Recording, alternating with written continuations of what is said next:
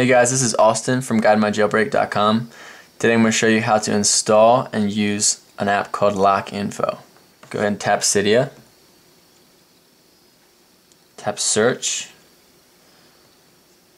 Type in lock info, one word.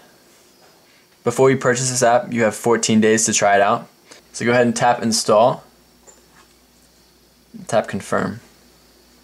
Tap restart Springboard.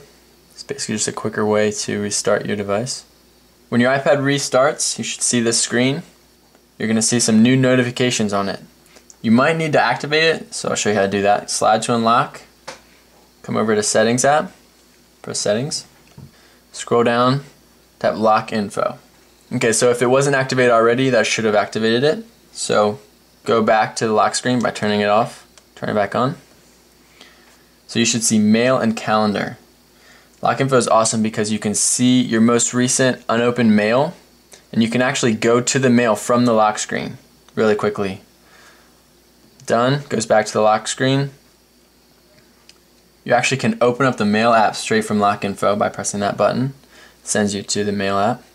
You also can see your calendar. To see a calendar event, just tap on it. It's done. The great thing about LockInfo is you can personalize what you see on this lock screen. So to personalize that, go ahead and slide to unlock. Tap the settings app. Tap plugins. So with the iPad, you can use calendar, mail, and notifications. Favorites and phone and SMS are just for the LockInfo version of the iPhone.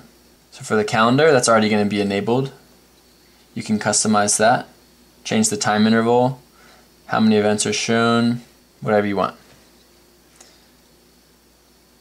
Same thing for mail.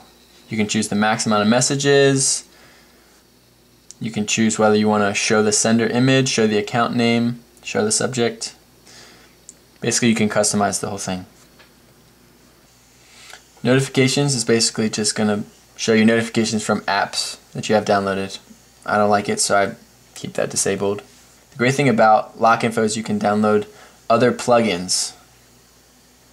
You can get the weather, RSS feed, to-do list. All these will allow you to use your iPad quicker and more efficiently. I'm just going to download the Twitter because I love Twitter. It's going to send you to the Cydia page. Just tap install and confirm. For some of the new plugins, you might have to restart your device before it works. This one, you just have to return a Cydia. Turn it off. Turn it back on. Basically what that allows me to do is compose a Twitter message straight from my lock screen. For this to work, you have to have your Twitter account already enabled. Send it, and compose a Twitter message. Simple as that. I hope you enjoyed this video.